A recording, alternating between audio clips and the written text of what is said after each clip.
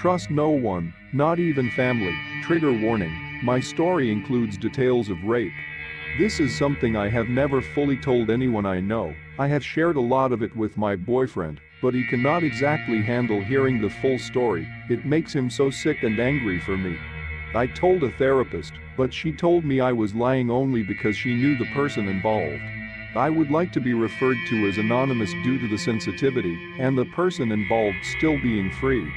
My sister and I are, well we're, very close, our father was very physically abusive, and we lived alone with him for 13 years, so once we finally were free from that we stayed close, I lived with my mom, and she lived with her husband. But I had frequently stay at their house for about 6 years, as I started staying when I was 10. I guess I should say my sister is 10 years older than me, and her husband is 12 years older than me, once I started getting older about 14. Along with our usual playing video games and watching movies we started smoking weed together on my visits. It was so fun and I loved hanging out with them. One day when I was about to turn 16, I noticed her husband started acting strange towards me. I kind of shrugged it off as me just being paranoid because of trust issues with men due to my past. As time went on I knew it was not just me he would text me very sexually inappropriate questions, asking if I had sex yet, and hinting that if I were to get a boyfriend he would be very jealous, this worried me a lot, so I told my mom and showed her the texts. She told me he was just playing, and he did not mean anything by it. I was very frustrated because I knew deep down in my gut this behavior was unacceptable. But my mom was a smart woman, and I found usually she was right about things, so I put it in the back of my mind. He would occasionally text me weird things after that mainly just calling me cute or something subtle, and I would just pretend I did not notice. I did however show my cousin some of the messages when we were at family Christmas, and she then said, I did not want to say anything, but he looks at you really strangely, it gives me the shivers, I felt relieved in a sense, because now I knew someone else believed me. I readdressed the issue to my mom, and she reassured me we are just overreacting, so I decided to give it a rest. Fast forward 6 months, I'm 16, and it's summer break, so I go to my sister's house as usual, because the weird behavior calmed down a lot. We played games and got high all night without incident. I went to bed and slept about 10 hours, and it was about 10 Amanda could not sleep anymore. My sister, her husband, and their roommate were all asleep still, so I decided to watch some TV. About 10 minutes after turning on the TV I hear someone coming em downstairs, and her husband comes and sits on the other couch, and says morning what are you watching? And I'm like, oh I just turned on the first thing I'm not sure it was some weird little cartoon. He laughed awkwardly and looked over at my shirt that had Invader Zim on it and said while walking across the room to the couch I was on, I love that shirt it's cute, and started loading a bowl in the bong. I felt extremely uncomfortable and said thanks.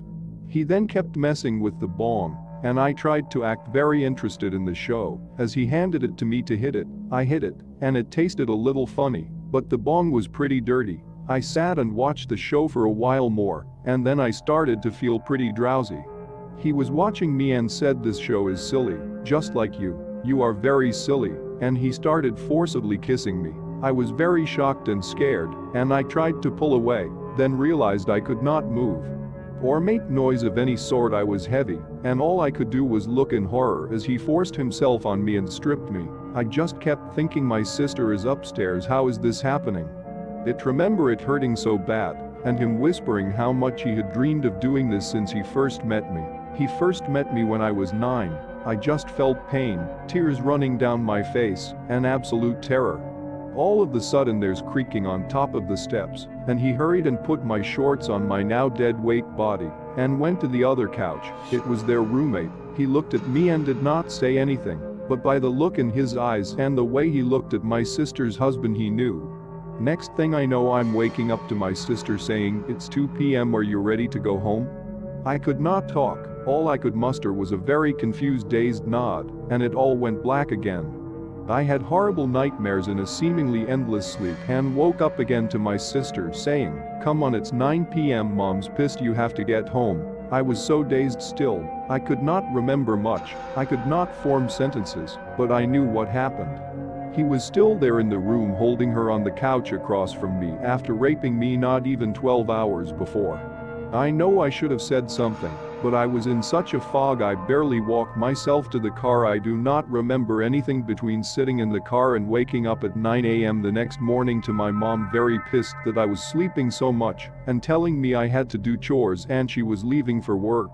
I stayed in a fog not feeling right for days and did not say a word I did not tell anyone till a month later, when I confessed to my mom what happened, she called my sister to which she said, I know they had sex, we are in an open relationship, and she told him she wanted it.